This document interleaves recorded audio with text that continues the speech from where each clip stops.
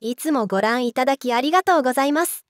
今回も大谷翔平選手、ドジャースの最新情報をご紹介いたします。ドジャース、8回一挙3失点で逆転負け。ロバーツ監督、継投失敗。みんな疲れが蓄積している。2位、ダイヤモンドバックス、パドレスと2ゲーム差まで接近。ナショナルリーグ西地区で首位のドジャースが15日、日本時間16日、敵地、アメリカンファミリーフィールドで行われたブルワーズ戦に痛い逆転負けを喫した。これで、ドジャースは2位のダイヤモンドバックス、パドレスと2ゲーム差まで接近。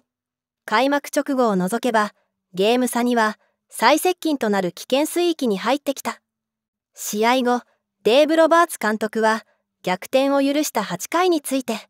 8回をハドソンで始めたのは良かったと思う。ただ最初の打者にミスを犯し、1点差の場面で二塁打を打たれた。そしてミッチェルに不運な死球を与えてしまった。その後もコントレラスの併殺打になりそうなゴロが彼に当たった。ダブルプレーボールだった。その後も似たようなことがあり2点差を返せなかった。だがこういうことはよくあることだ。攻撃陣についてもアプローチは良かったと不満を見せなかった指揮官だが問題は救援陣。特にこの時期はみんな疲れが蓄積しているコペックはいい仕事をしてくれている。ハドソンは我々の安定したリリーバーの一人だ。彼らの仕事量を管理することにはできる限りベストを尽くそうとしている。できる限りのことをする。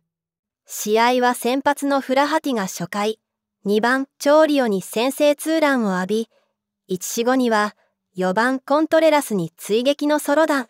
タイガースから移籍しここまでドジャースで2連勝と勝ち運を運んできたフラハティだったがいきなり初回3失点となった。その後、打線が奮起し、3対3と同点に追いついた後、6回にキケ・ヘルナンデスが勝ち越しとなるタイムリーヒットを放ったが、8回に暗転する。4番手で登板したハドソンが、虫満塁の危機を招き、レフト前ヒット、サードゴロ、ショートゴロの間に3点を失って逆転を許した。大谷は1安打を放つも、得点には結びつかず、9回西から空振り三振に倒れ、最後の打者となり、敵地は大歓声に包まれた。